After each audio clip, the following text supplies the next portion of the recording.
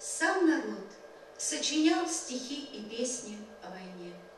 Вот такую песню написала девочка из села Твердохлебовка Богучарского района Воронежской области Максименко Машенко, у которой погиб отец.